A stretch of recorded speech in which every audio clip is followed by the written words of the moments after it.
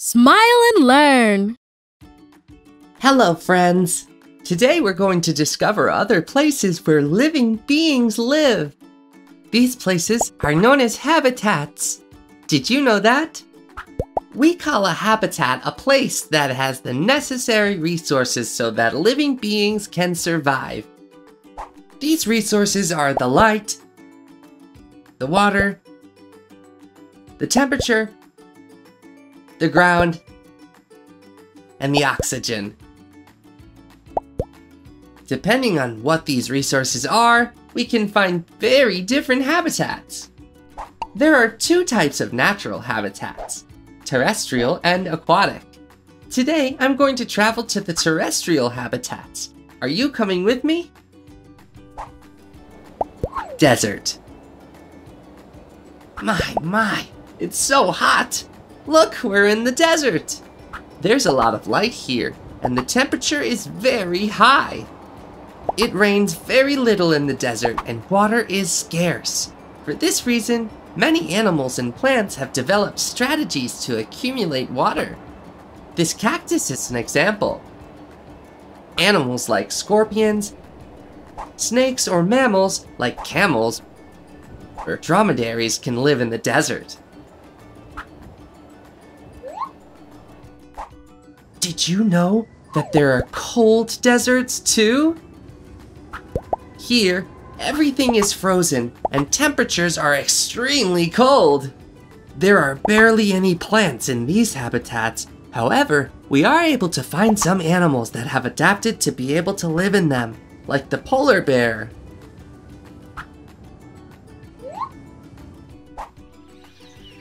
Jungle.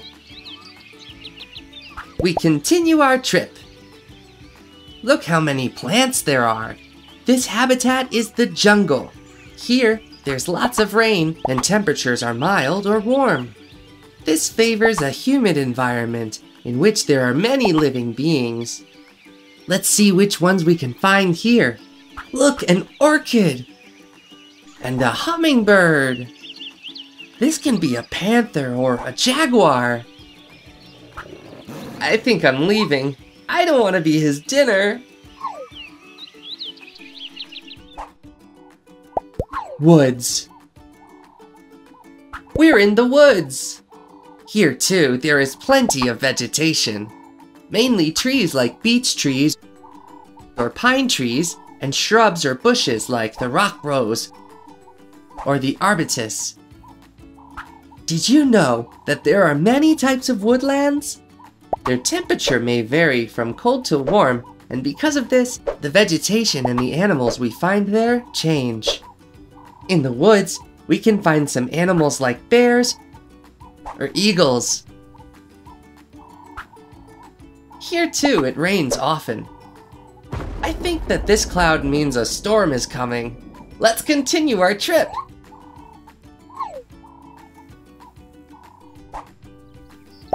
Prairie. Just arrived at a prairie. This habitat is characterized by small plants like grass and animals like foxes or rodents. The climate in the prairie is humid. Winters are cold and summers are warm.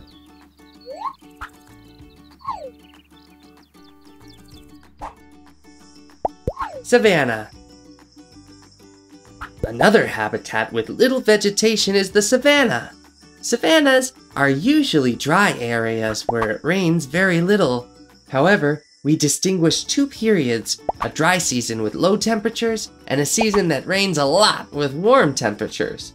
The latter one is called the humid season. Here we can find grass, herbs, non-woody plants, and some trees like baobabs. Among the animals, we find many herbivores like elephants, zebras, or giraffes. There are also carnivorous animals like lions or cheetahs.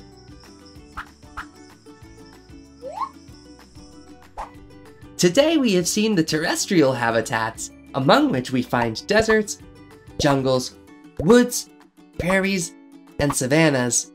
But we still have aquatic habitats left to visit. Don't miss the next video. See you soon.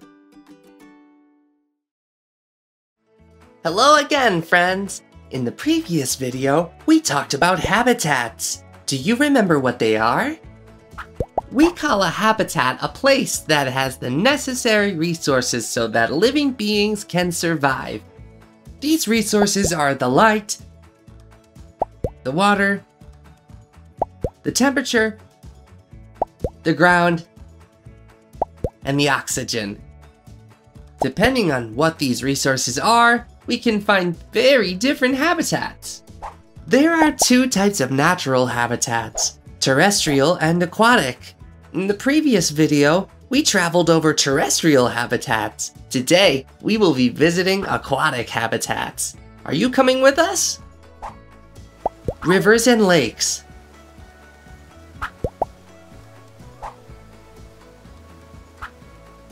Rivers and lakes are freshwater habitats.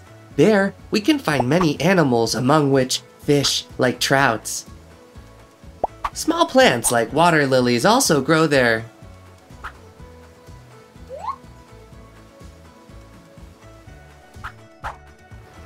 Oceans and seas.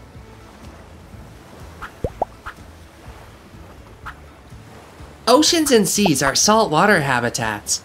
There we find a great diversity of animals, like whales, sharks, coral, or seahorses. There are also plants that grow in the sea, like seaweed.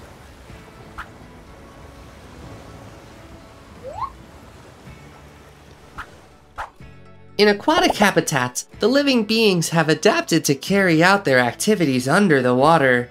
An example would be fish branchia that allow them to breathe underwater. In these habitats, light is a very important resource too, and sometimes due to contamination, it cannot reach deep enough to the bottom of rivers, lakes, or oceans, leaving the living beings without an essential resource. Today we learned that aquatic habitats are distinguished as freshwater rivers and lakes and saltwater oceans and seas. That was all about habitats. See you soon.